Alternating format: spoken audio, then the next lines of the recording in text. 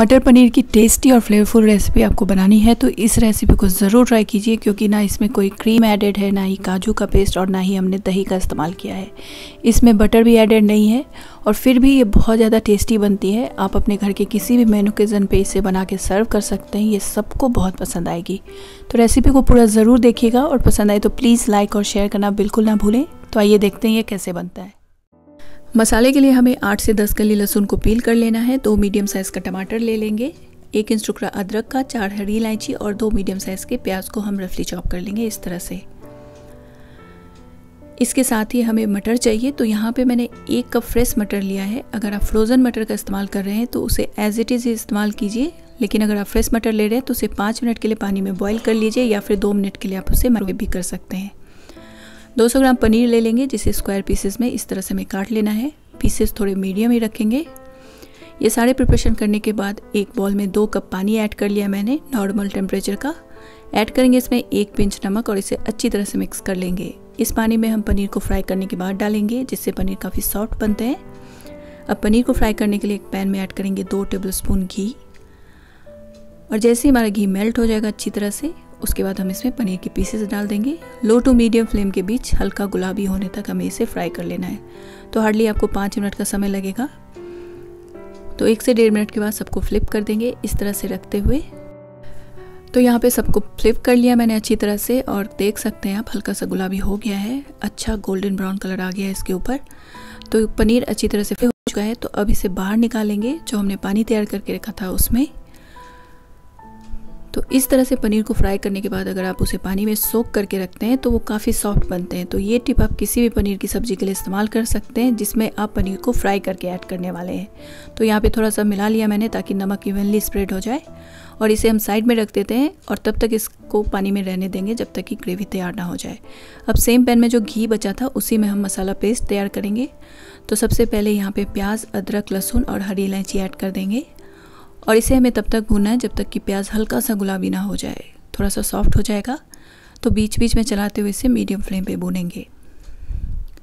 तो लगभग दो से तीन मिनट के बाद ही आप देखेंगे कि प्याज का रंग गुलाबी हो गया और थोड़ा सा वो सॉफ्ट हो गया इस स्टेज पे इसमें हम टमाटर ऐड कर देंगे और इसे भी हमें तब तक पकाना है जब तक कि टमाटर पूरी तरह से मैश ना हो जाए। आप चाहें तो इसे कवर करते हुए पका सकते हैं। जल्दी पक जाएगा।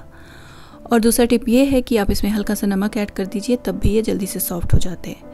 तो इस तरह से जब टेक्सचर आ जाए, पूरी तरह से देखिए टमाटर सॉफ्ट हो चुका है। जब हम मैश कर रहे हैं तो अच्छी तरह से मैश हो रहा है। तो ये तैयार है। तो अब गैस का फ्लेम ऑफ़ कर देंगे। इससे पहले हम इसमें ऐड करेंगे एक छोटी चम्मच ज़ीरा और जब ये ठंडा हो जाए, तब इसका एक मसाला पेस्ट बना के हमें तैयार कर लेना है। अब हम ग्रेवी बनाना शुरू करते हैं, जिसके लिए कढ़ाई में मैंने दो तेल जैसे ही गर्म हो जाए, इसमें ऐड करेंगे दो छोटी चम्मच ज़ीरा और इसे भुनने देंगे। जीरा भुनने के बाद अब इसमें ऐड करेंगे पाँच से छः कली लहसुन को फाइनली चॉप करके। इससे फ्लेवर बहुत अच्छा आता है सब्ज़ी में। साथ ही यहाँ पे मैंने दो सूखी लाल मिर्च भी ऐड कर दी है। लहसुन हल्का गोल्डन ब्राउन हो जाए, तब हम इसमें मसाला पेस्ट ऐड कर देंगे, जो हमने पहले से पीस के रखा था। अब इसे अच्छी तरह से पहले मिक्स कर लेते हैं। उसके बाद हम इसमें सारे सूखे मसाले डालेंगे। तो सबसे पहले इसमें ऐड करेंगे कश्मीरी लाल मिर्च पाउडर दो छोटी चम्मच। इससे कलर बहुत अच्छा आएगा।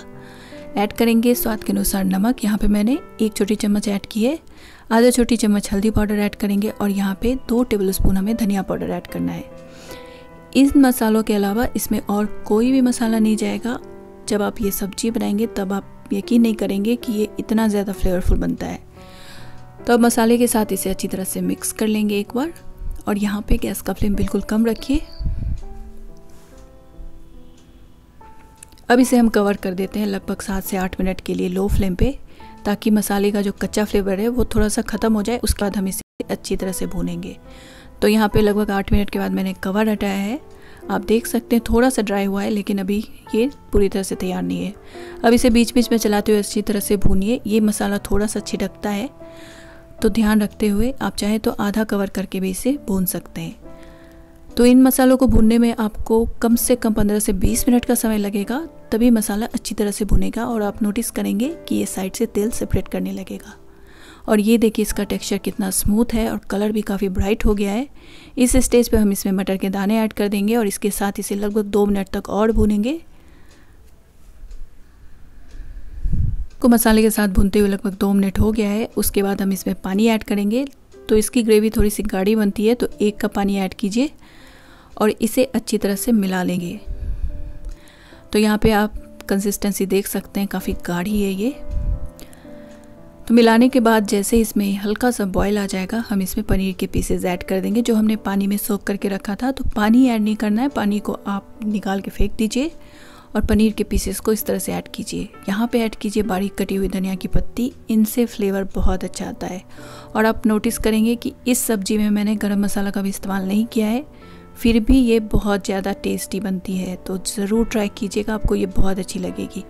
मिलाने के बाद लगभग चार से पाँच मिनट के लिए मैंने और कवर किया, जैसे ही तेल ऊपर आ गया, और यहाँ पे आप इसका टेक्सचर देखिए, बहुत अच्छी तरह से ग्रेवी पक चुका है, पनीर के पीसेस आप नोटिस कर सकते हैं। तो बहुत ही अच्छी खुशबू आ रही है, सिंपल बेसिक मसाले के साथ ये रेसिपी ट्राई कीजिए, आपको बहुत अच्छी लगेगी। आप अपने घर के किसी भी मेन ओकेज़न के लिए भी इसे बना के सर्व कर सकते हैं। तो रेसिपी को ज़रूर ट्राई कीजिएगा। अगर अच्छी लगे तो प्लीज़ लाइक और शेयर करना बिल्कुल ना भूलें। मेरे चैनल पे आप पहली बार आए हैं तो इसे सब्सक्राइब करना बिल्कुल मत भूलिएगा। रेसिपी का इंग्रेडिएंट्स लिस्ट आपको डिस्क्रिप्शन बॉक्स में मिल जाएगा। तब तक के लिए stay healthy stay blessed and thank you for watching